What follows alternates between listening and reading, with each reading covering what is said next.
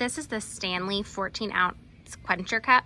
Um, so I actually bought this for my son. Um, we make smoothies a lot, um, and me and my husband both had larger size Stanleys. Um, and of course, he wanted to have some smoothie as well, so we purchased this one for him.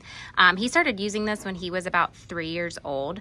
Um, it's really, really easy for him to pick it up with his smaller hands, and it fits a great amount of liquid in there. it's also great for really any beverage, water, juice um, anything that you really want to keep cold.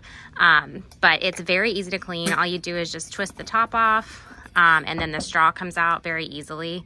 Um, I throw every single piece of this in the dishwasher um, and it comes out perfect every single time. I do love that it's stainless steel on the inside um, and the cup is vacuum insulated so it keeps your ice cold for at least 24 hours, um, especially if I put the ice in it first and then fill up with water.